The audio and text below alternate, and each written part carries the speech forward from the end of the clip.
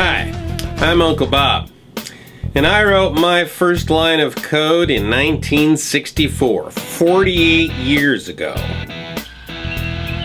I've written systems in assembly language, COBOL, Fortran, C, C++, Java, JavaScript, Lisp. Hmm. I have programmed computers that use paper tape, punch cards, core memory, drum memory, and a whole bunch of other hardware you probably never even heard of. When I started programming, one of the machines I used could add two 12-bit words in 48 microseconds. We were lucky if we got 100,000 instructions per second executed. Of course, things nowadays are really different. I mean, we've got these machines that sit in the palm of your hand that execute billions of instructions per second. They've got gigabytes of entirely solid state memory. I mean, nobody even remembers what a punch card is nowadays. Stop. So for 48 years, I've seen a lot of change, and I've kept up with that change too. I've learned a lot about how to design and write software.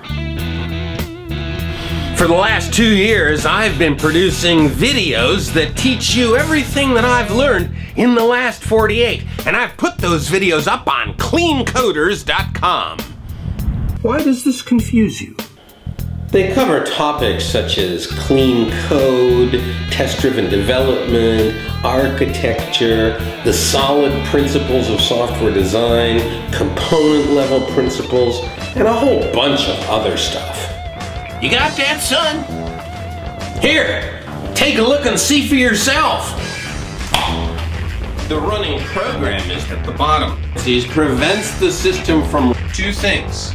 It's like Atlas holding up six billion years that separates. In essence, main is a dependency magnet. If we could reduce the system within that system, we set about to create and we would alter to do nothing. Of course, the behavior of the system on a console pass some data out of a function because the case method policies of the keyboard reader wondering why the heck that argument was going in. If we did that, they aren't really expect the product. As an instance variable, kilograms would go to the job class. They should have few arguments. Sounds like a boolean. And to write. Diagrams side by side. The evidence will be not empty. Especially C converts the data elements. In. Say that I've got a, a book. Code dependency be coupled in terms of its IO abstraction. This influence over the equation showed that Right.